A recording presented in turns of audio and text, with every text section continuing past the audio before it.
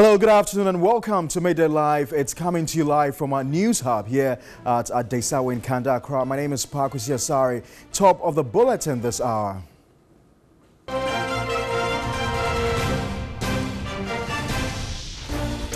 Chairman of the New Patriotic Party, Freddie Blay, describes suit against him by CHRAJ as incompetent. Also, the Black Stars of Ghana seek to end decade-long droughts at the Africa World uh, Cup of Nations with opener against Benin.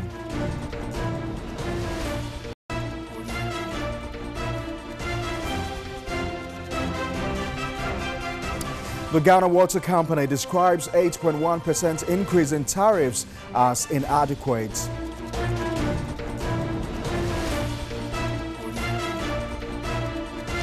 Also ahead in this bulletin, the Auditor General indicts Ghana Broadcasting Corporation for failure to account for about $3 million collected as TV license for 20 years. And also on the international front, Iran's president responds with defiance to latest sanctions imposed by the United States.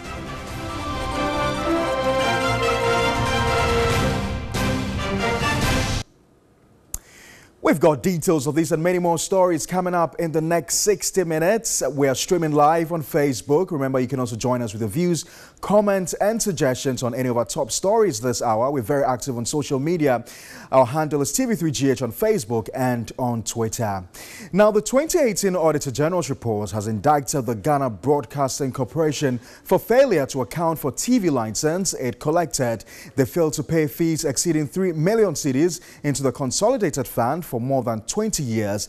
The Foreign News Desk report has more details on the latest report by the Auditor General. The report says, contrary to dictates of the Financial Administration Regulation 2004, the corporation did not remit TV license fees collected from 1993 to 2017, totaling 3,637,754.20 Ghana cedis into the Consolidated Fund.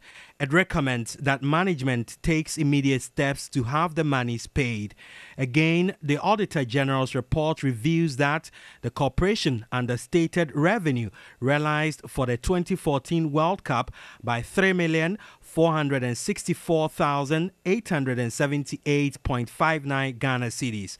On this, the department advised management to update the financial statements and properly account for the said amount failure of which officers of GBC who were responsible would be surcharged. In addition, the 2018 report by the Auditor General's Department states that a review of the contract agreement signed between the Ghana Television Consortium and Optimum Media Prime Limited showed that two major financial clauses were amended without approval by the consortium. The report directs management of GBC to furnish the source of authority for varying portions of the agreement. It also requests management to avail documentation in support of outstanding VAT remittances sent to the Ghana Revenue Authority GRA and advised GBC to ensure that future agreements are not unilaterally varied by either party. Furthermore, it states due to the management's non-compliance with financial regulations that governing the opening of bank accounts, an amount of 91,300 Ghana cedis out of cash received for the 2014 World Cup was deposited into an unknown bank account at Zenith Bank. The Auditor General advises the State Broadcasting House to provide the account name and other details of the account into which the said amount was paid. It also asks GBC to furnish the audit team with copies of the bank statement from its inception to 28 February 2018 for further action. According to the report, as a result of weak internal controls on revenue, transmission certificates were not issued for some of the activities of the corporation. It asks management to put in place systems to track the records of all programs of the corporation with transmission certificates. Finally, the report says an invoice issued to the British Broadcasting Corporation BBC in respect of co location was under invoiced by 93,203.53 Ghana cedis. On this, the Auditor General advises management to recover the difference from the BBC. Away from the Auditor General, the Public Utilities Regulatory Commission, PURC, has approved an 8.01% increase in water tariffs from, from July. The increment has been necessitated by the cedi depreciation to the dollar, uh, projected inflation and increasing electricity and water demands. The PURC last Friday approved an 11.17% tariff increase for electricity from July 1. The PURC approved the increment after considering proposals from the utility companies.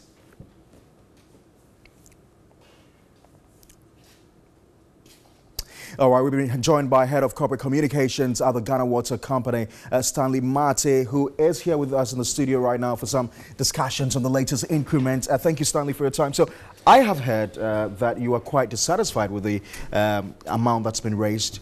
Um, why so? Yeah, um, we have requested for a 57% increase, um, only to be given 8.01%, um, uh, which is um, very inadequate for to, to help us or to sustain our patients. So they are regulators. There's nothing much that we can do. We'll keep engaging them to see how best. Did you say 57%? Um, yes, that, that, that sounds was, quite outrageous. Yes, because um, one, they, they, themselves have talked about the cedi depreciation against the dollar, and you know that uh, a major component for the treatment of water is uh, uh, the chemicals that we use.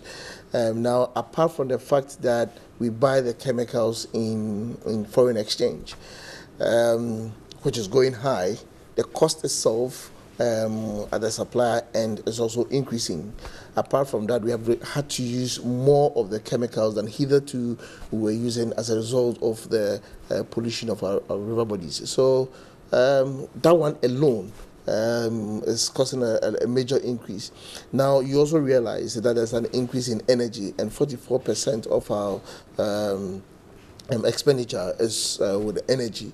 So 44% alone takes energy. Now, how about chemicals and overheads, logistics, and all that? There's been cost of fuel. The, the cost of fuel has been rising over the past um, few years, you know, and so it all affects our operations because uh, those are the components which we use in our operations. But is it also a, not also a fact that customers will eventually end up paying more because of the levy on the uh, desalination project in Teshie? No, that's just a restoration of the original tariff. Mm. Okay, so we were given some tariff we were paying, and the desal had a component in that tariff. Now, because you have set the, deep, the desal down for a renegotiation, the PLC felt that, okay, if the desal is not in operation, then let's get that component off um, the tariff.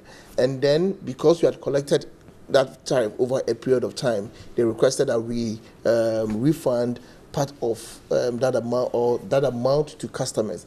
That brought about the 10.8% um, um, uh, deduction mm. or decrease in the tariff in February. Mm. Now we have put back into operation the desal, and so it makes sense for us to uh, for them to restore um, um, back the original tariff. Mm. So the that PURC itself, uh, in its statement ahead of the announcement, said he had engaged with uh, all of the major stakeholders, including yourself. Exactly. Uh, how come your arguments could not be sustained?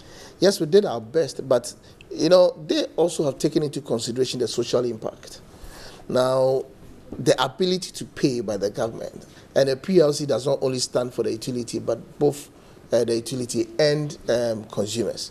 So, in effect, they have had to take all those things, and the resultant um, is what we have now. Mm. But it's it's been so over over a very long period. You know, um, since the inception of um, the period, the regulatory body, uh, we've always had less than we have requested for, and so um, it's impacted negatively on the utility. But for prudent management, um, the the GWC, I'm sure, may have collapsed by now, but we have worked very well, steadily. We have done all we could to improve on our operations till now. Now, our only consolation is the fact that we are state owned, and when there's any eventuality or when we are stuck somewhere, mm. we can only fall on government. On the state. Yeah, but it's, it's, it would have been better for government, for the people of Ghana, for the utility, um, the GWCL, mm. if we have weaned ourselves from uh, from government so that we can invest more. And, and by so uh, you, know, mean that consumers been allowed to pay realistic Exactly, because we've never had cost reflective tariffs. Mm. I mean, it's always been like that. You request for a certain percentage and you are given lower, and mm. uh, it puts a lot of stress. the, the, rains have uh, set in again. Too. It's become almost an annual ritual that during these times we often have the spillage of the Bagre Dam as well as the Weija Dam. Um, are we to expect any of these in the coming days? Yes, um, we, we started uh, spilling um, the Weija Dam a month ago. Uh, we had announced to the general public. Mm and we've been managing the spillage. And so we hope that so far we haven't had any eventuality yet. Mm. We haven't had any um, any any any challenges yet. We are hoping that uh, it will still continue like that. But we are still measuring the rate of inflows as to um, the rate of outflows so that we need to have that, that balance at least. The maximum operating level is 47. Mm. So if we are able to get to 47 and below, then we can safeguard the integrity of the dam. So that's exactly what we are doing. So we are taking also into cognizance the fact that there are human beings and properties downstream. Mm. So we are managing the flow, but we are also taking into um, cognizance the, the uh, integrity of the dam. So right. we need to maintain that, and we need to uh, do safeguard well to lives safeguard and as well. Thank you very much. Uh, Stanley yeah. Martey is the uh, Public Affairs Manager of the Ghana Water Company. Meanwhile, the Public Utilities Regulatory Commission, the PURC, has justified the 11.7% upward review in electricity tariffs. Now, the Commission says the decision was as a result of prudent cost review and effective monitoring after considering tariff proposals from stakeholders, including the utility service providers. While the maximum demand charge on industrial customers uh, referred to as a special low tariff meant to cushion Ghanaian industries and businesses has also been removed.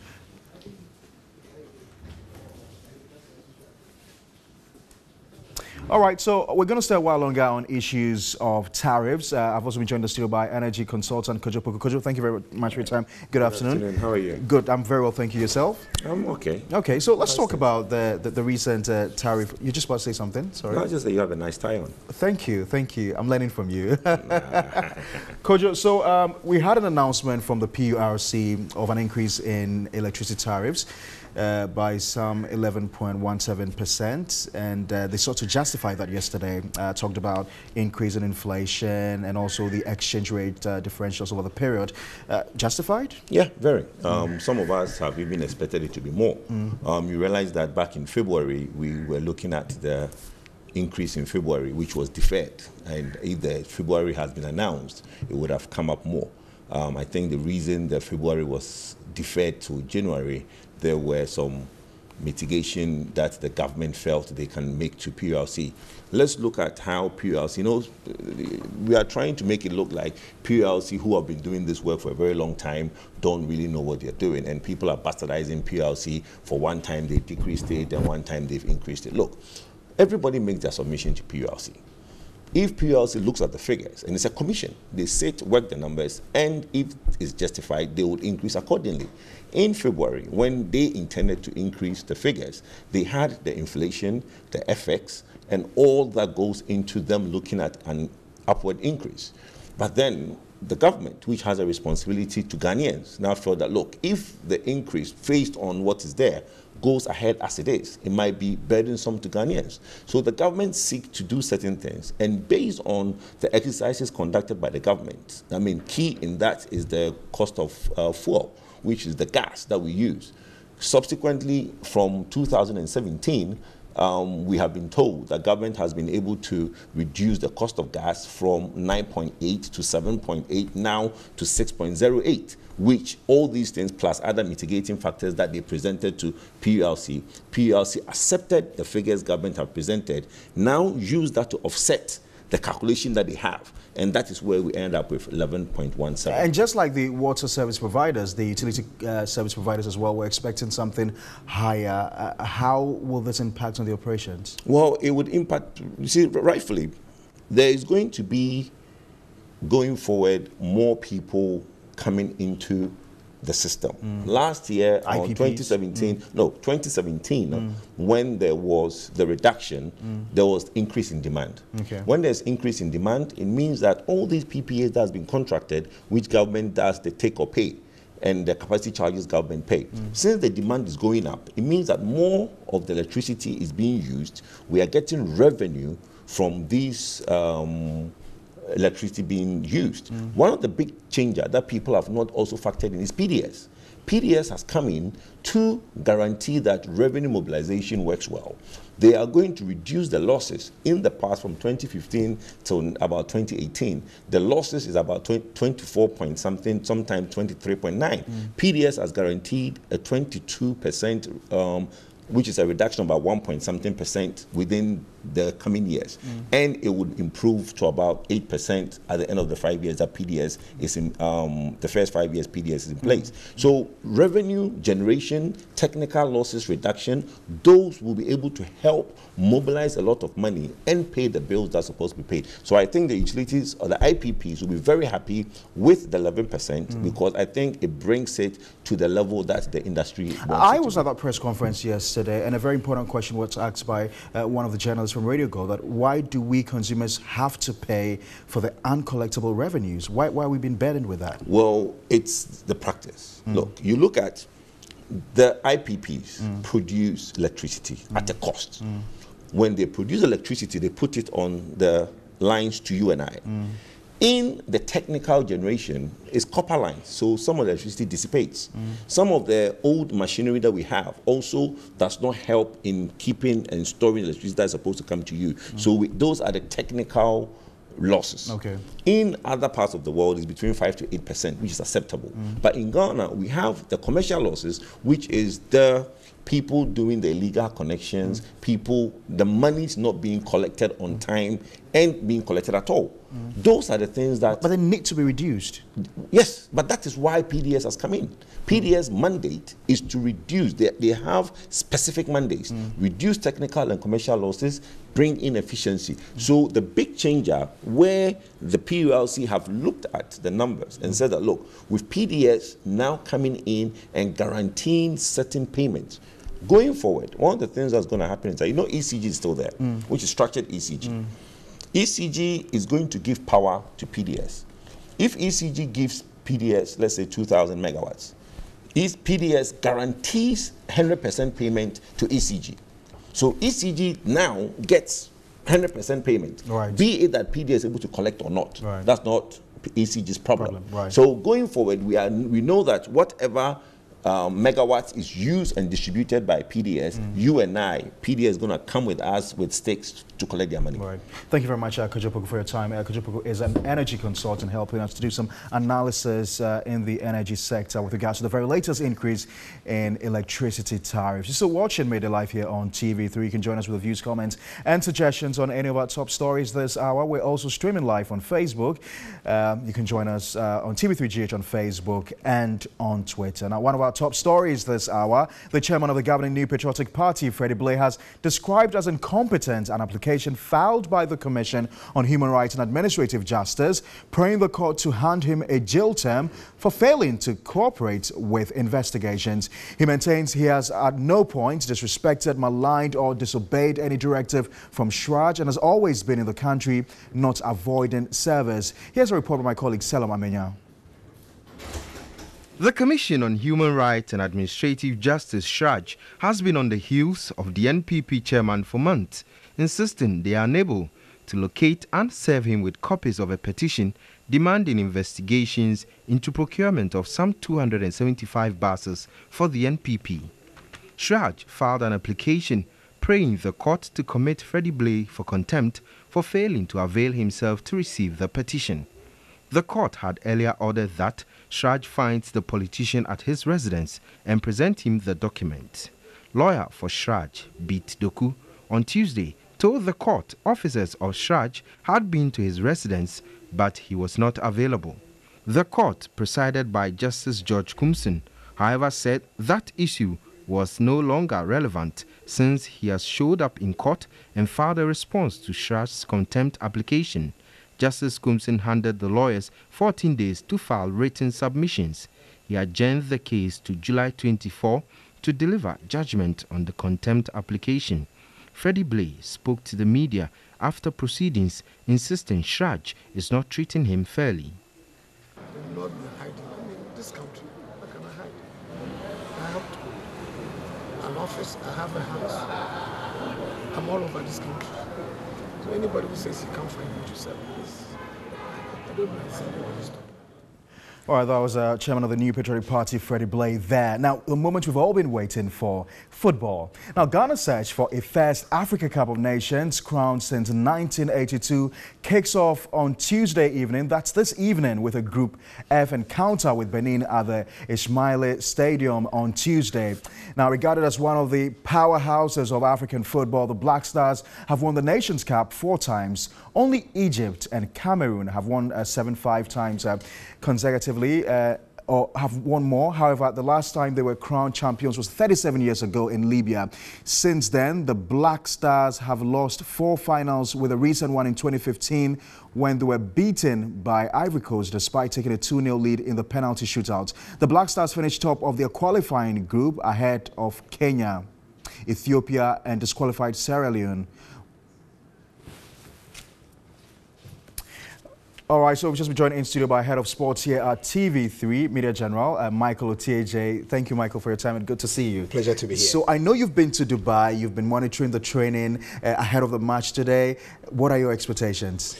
Well, I would expect that the Black Stars will win. Um, I don't expect the biggest statement in terms of, uh, you know, I don't expect a performance that says we are potential African champions, but I'm expecting a good start. Remember, the start of tournaments has always been tricky. Mm. It's not just for the Black Stars; it's for a lot of teams. So if you look back in recent memory, um, I saw in the report mention of the periods when the team has been to the final. In the last two ones, in 2010, the Black Stars lost the opening game mm. to Ivory Coast. In 2015, the Black Stars lost the opening game uh, to Senegal. So um, the start of tournaments can be a bit tricky and complicated. But Benin is the sort of team you want to start again, and my feeling is that, uh, like they did in 2017 when Ghana beat Uganda in the opening game, the Black Stars will find a way past Benin today. Uh, quite apart from the earlier challenges we had with who was going to be captain, who was going to be general captain, mm -hmm. morale in camp seems to have been boosted. What's different about this national team? I don't think there's a lot different. You know, I think sometimes before the start of a tournament, the team, Kwesi Appiah has been talking about this is the most peaceful camp that he's seen.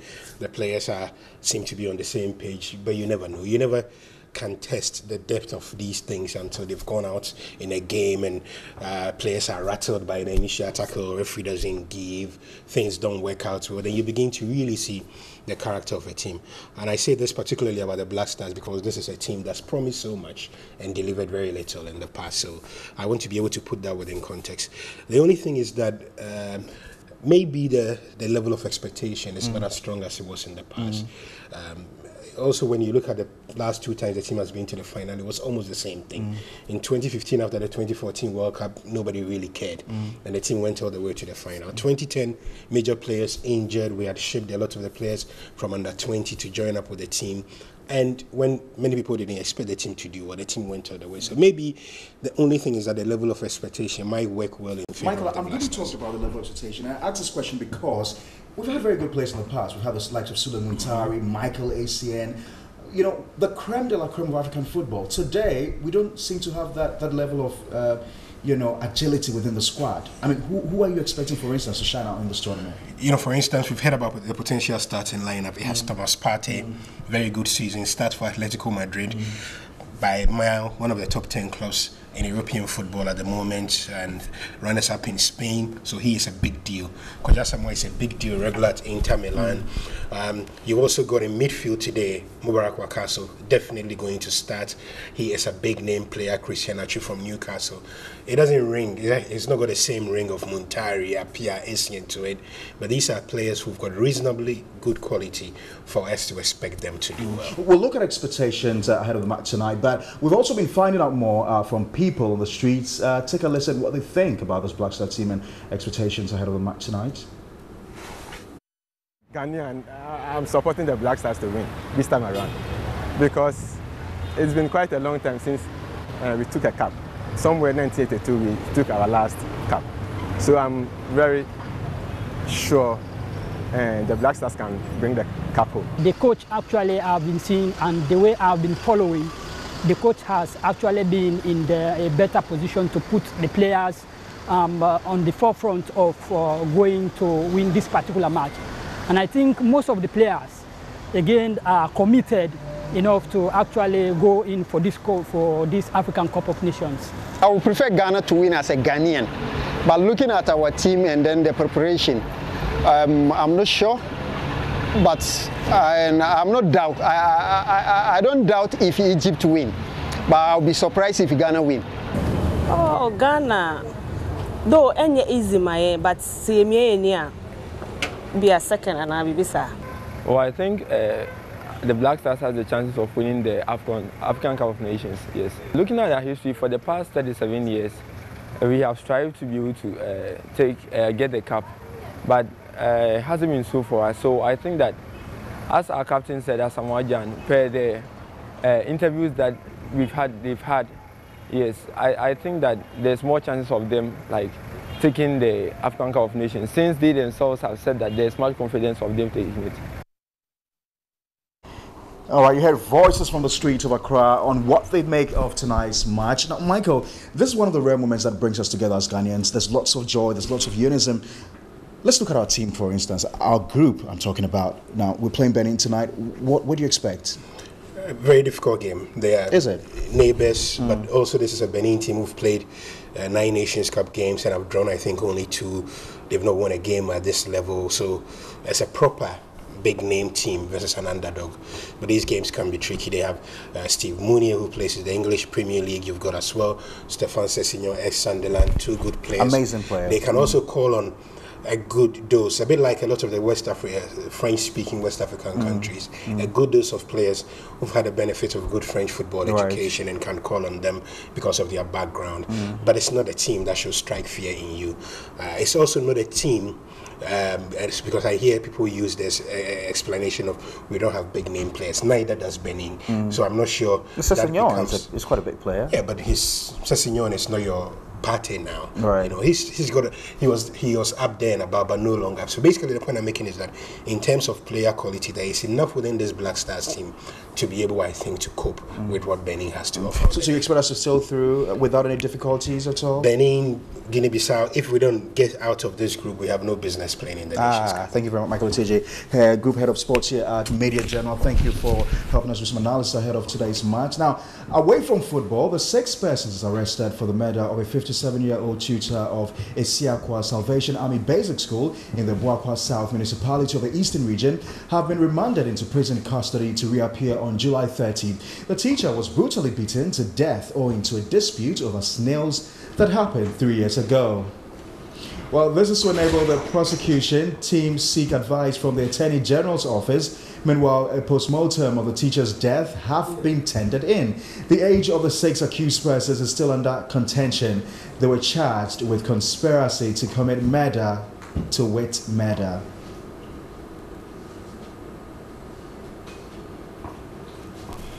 Yes, to watch it here on TV3. We're streaming live on Facebook. We're also active. Our handle is TV3GH on Facebook and on Twitter. Let's know what you make of our top stories this hour. And also, if you have any views at all to share on the Black Stars match tonight, feel free to send them uh, on our social media pages. We'll take a short break.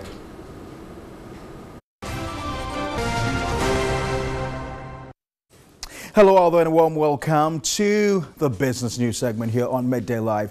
Now, the Chamber of Petroleum Consumers, COPEC, has called for the closing down of the 10 fuel retailing outlets which uh, under-delivered to customers. The stations have been fined 5,000 cedis each, but COPEC says a fine is not deterrent enough. COPEC confirmed the incident after the Standards Authority had clamped down on fuel retailing outlets. We recommend the owners or operators of this particular station to immediately halt selling to the public or shut down this particular outlet and ensure the right things are done to forestall any further shortchanging of the unsuspecting public as duly captured by the Ghana Standards Authority. The PRO of Concerned Drivers Association, David Agbado, called for sanity in the sector. I want to urge all drivers, both GPRTU, PROTOA, Tiger, and name When you go there and you feel cheating, ask of that 10 liter can and then do the examination yourself and see whether they are serving you with the right one. If not, report it to the necessary authority. COPEC is again recommending a compensation package for consumers.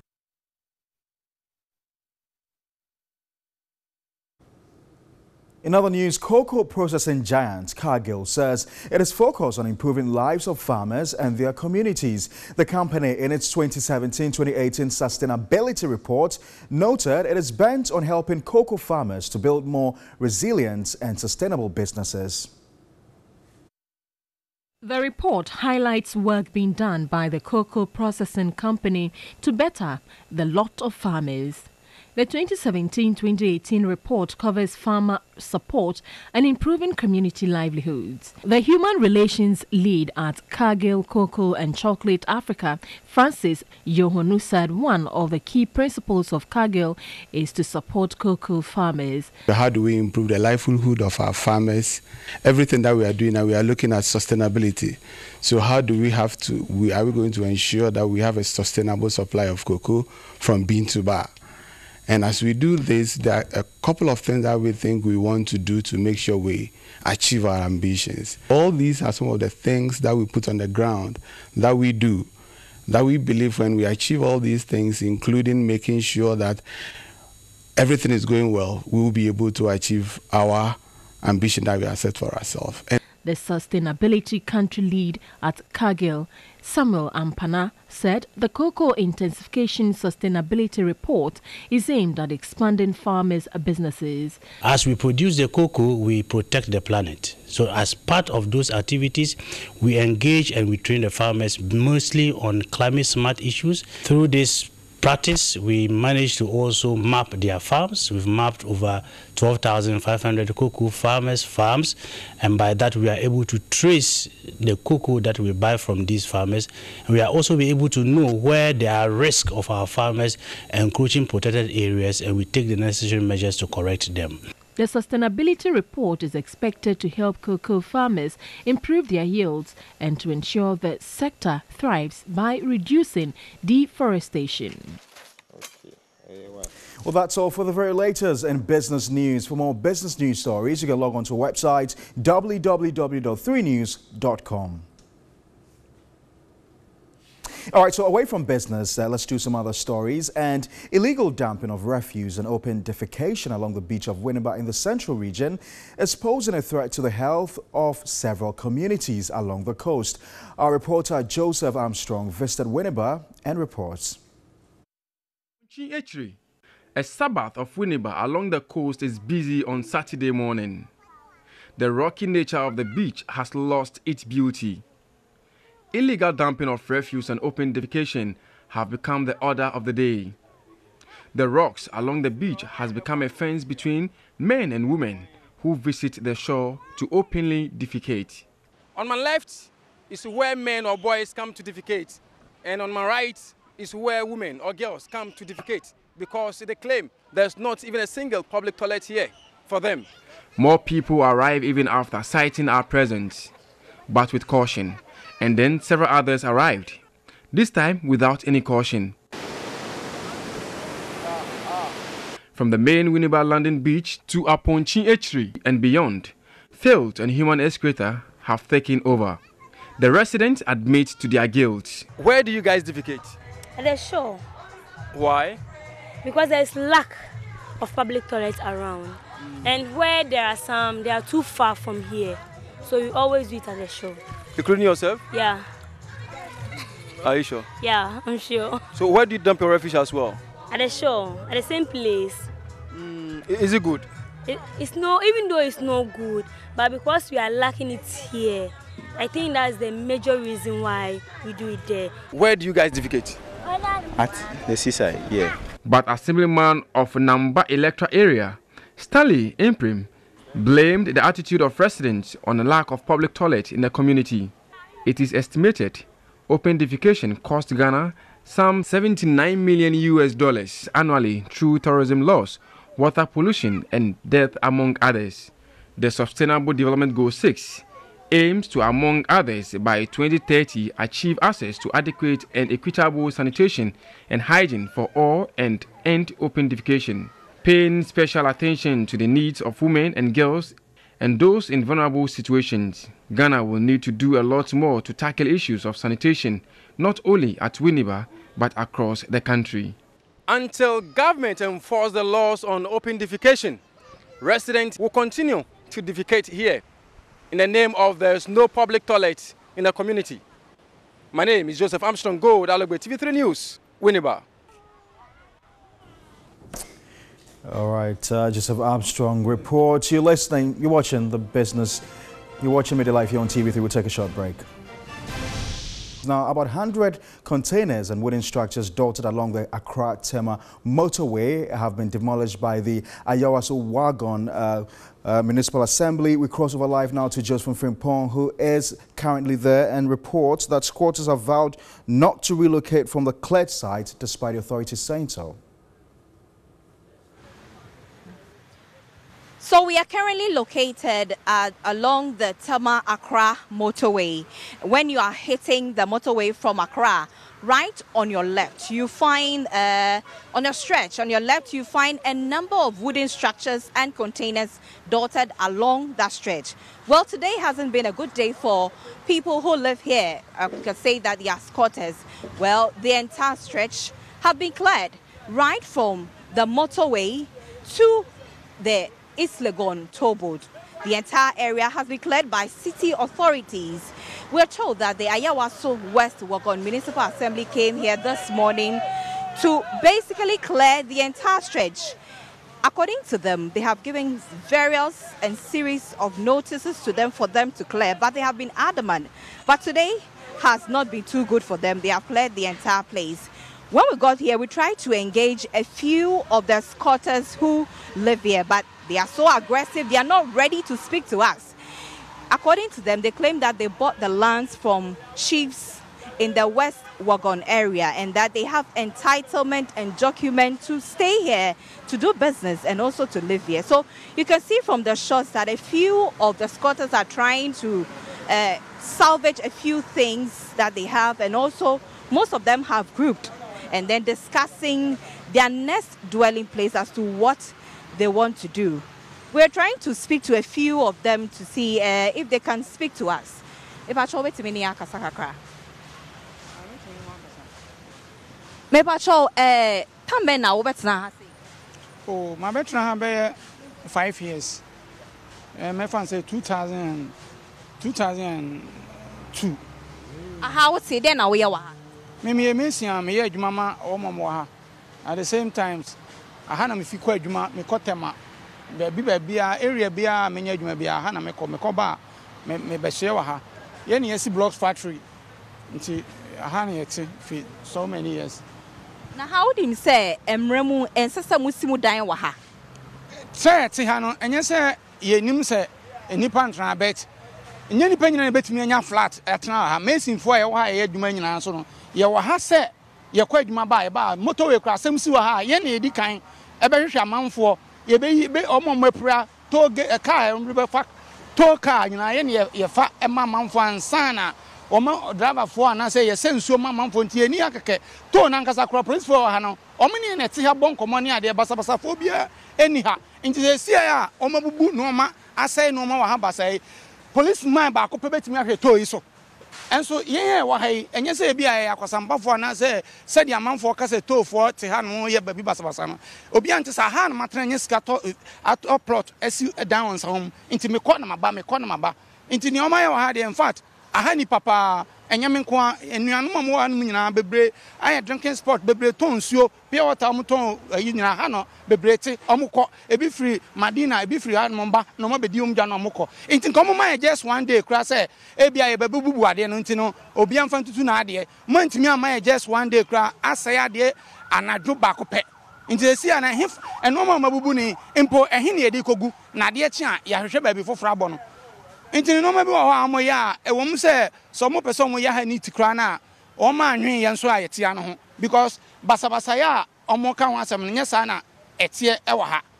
Ebinom flower pot wɔn a wɔyɛ flower pot no nyinaa wɔ ha. Yɛyɛ adwuma ma mpanimfoɔ mpanimfoɔ bebree bɔmpata nana nana nom nyinaa nana fɔre nom nyinaa. Ɛyɛ boys a yɛyɛ adwuma ma wɔn ɛdan a wohu a ha nom tire nyinaa ɛyɛ masonfoɔ ne labourers a yɛsisi yɛn ɔma na ɛbɔ nti wɔn na ɔma yɛ ma yɛn nso yɛnya baabi wɔ ha sɛ a yɛbɔ kiosk a yɛkɔ adwuma ba a ne yɛ ababa dam ne yɛkɔ. okay nti yɛ dansi yɛfrɛ wo sɛn. mede kɔ abenata no. Yo, so you just heard from Kwabena Tano. According to him, he has lived here for quite a long time.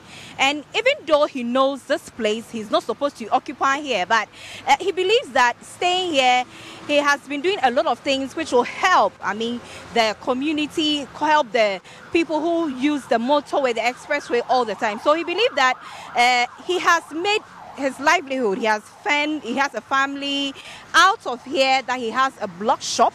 He has been able to build his own house and on his own, and then he has other businesses that he's running. So, according to them, he claimed that they are not just squatters, but they are legitimate Ghanaians. So, if there was going to be any exercise like this, they should have drawn the attention before they could pack all their things which are so important to them and then they could carry on. But we are not done yet. We'll, we'll continue with this developing story and move to the West Wuogon Municipal Assembly to speak to authorities there to give us more insight as to what to do because we are told that this demolition is not going to end here. They're continuing to the entire stretch from the Tema Accra motorway.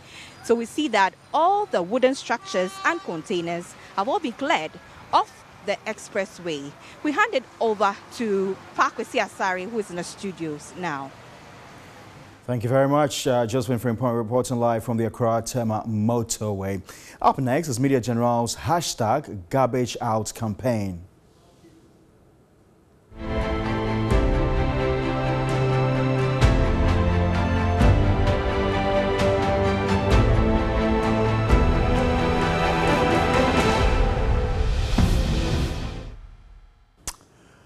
All right, so TV3's sanitation campaign dubbed hashtag garbage out took a tour of the Korle Lagoon near the Korle Bu Teaching Hospital. The effort is to reawaken the general public and duty bearers alike to make Ghana clean again. Johnny Hughes has more. Lagoon, a very popular place in the city of Accra. In 1932, there's something called the Regatta, which was organized by a group called the Yakas. Today, in 2019, what you see here is what is left of the Korle Lagoon. A regatta can't be held here. The level of filth you find here didn't just happen overnight. It took a lot of time for it to happen. And everybody seems to have watched on to have allowed this to happen. The flamingos are singing their own chorus along the filth that you have in this very place. Silt, sand, and mud have taken over the lagoon. Also in 1999, the Korle Lagoon Ecological Restoration Project was launched. It was supposed to last from 2000 to 2008. But as we speak, it does appear that the project has been reduced to just desilting or dredging out the lagoon to canalize it to allow for flood water to flow through. Somebody certainly must be explaining what the full details of the project are or was and why we have not been able to properly achieve it. Now, if you turn attention to the far left, you would also see sanitary site that's presently here. And even though there is uh, a Zoomlion receptacle that's supposed to be collecting the rubbish, people dump rubbish here with careless abandon in the full glare of the EPA, in the full glare of the local authority, and in the full glare of everybody else who lives around here. And we're putting it out to you with the hashtag garbage out. All right, so you've got to join us on this campaign. It's hashtag garbage out. Well, that's how we conclude Midday Live here on TV3. Thanks very much for watching. My name is Paa Kwesi Asare.